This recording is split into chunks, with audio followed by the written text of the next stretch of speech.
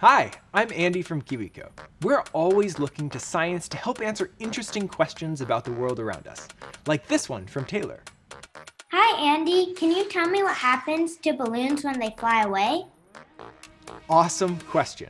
We've all probably been there. A moment of forgetfulness, a slip of your grip, and suddenly your balloon is up, up, and away. But where does it go, and what happens to it? Well, it turns out that the secret comes down to a really basic science principle pressure. We also have the perfect tool to experiment with pressure right here. But let's cover some basics first. Pressure is all around us, literally. At any given time, we have more than 10 miles of atmosphere pressing down on us, adding up to almost 15 pounds per square inch or 100 kilopascals.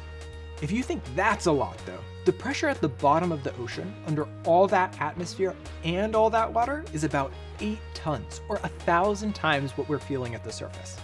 In fact, fewer people have visited the bottom of the deepest part of the ocean than have gone to space, partially due to the fact that the pressure is so hard on machinery. On the opposite end of the spectrum, if you take a trip up to space, there's no air and no air pressure. Space is what scientists call a vacuum, or an area that's completely empty, which means there's not even air. There isn't a solid boundary where the atmosphere goes from having air to not having air though. As you go higher and higher, there is gradually less and less atmosphere, and the pressure also becomes less and less. This is exactly the journey that your wayward balloon takes, and also where our fancy machine over here comes into play. This is a vacuum chamber.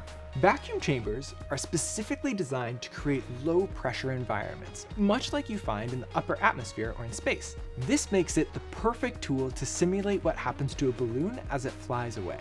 A vacuum chamber system has a few different components. First, we have the chamber itself. The chamber is made of thick glass. Vacuum chambers have to be really strong because they're dealing with a lot of pressure. If you look closely, you'll see a small hole in the plate. This is where the vacuum pump sucks the air out. This brings us along our tube here and to our pump. The vacuum pump is the machine that sucks the air out of the chamber. You can also see this gauge at the top of the pump. This lets us know what the pressure is inside the vacuum chamber. Okay, enough background. Let's use this thing to see what happens when we let go of our balloon. Here, I have our mini balloon. I'm gonna put this in our chamber like so. Next, I'm going to turn on our vacuum pump. You'll see the pressure inside the chamber reduce rapidly, simulating the balloon floating higher and higher. And then we'll have the answer. Ready? Oh man, it is getting a lot bigger. It's holding together actually surprisingly well. Oh, there we go. Let's take a look at that again. As the pressure is being reduced in the vacuum chamber, you can see the balloon expanding. This is exactly what happens when your balloon flies away. As it gets higher, it keeps getting bigger until it can't expand any further and pops. And then the balloon pieces fall back down to earth and land in places they shouldn't be. So that's why it's important to keep a firm grip on your balloon while you're outside. While you likely haven't seen a balloon pop like this, you likely have seen this same air pressure phenomenon elsewhere. Have you ever noticed what happens to a bag of chips on an airplane? Here, I'll show you with a vacuum chamber.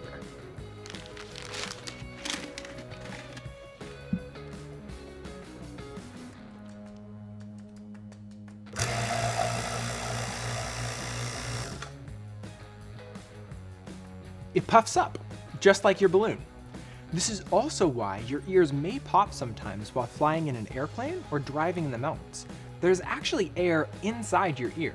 If you go someplace with lower pressure, there can be a pressure imbalance between inside your ear and outside. The small pop is your body equalizing the pressure. So there you have it. Now you know what happens to your balloon when it floats away. Plus, you have some awesome new knowledge about pressure.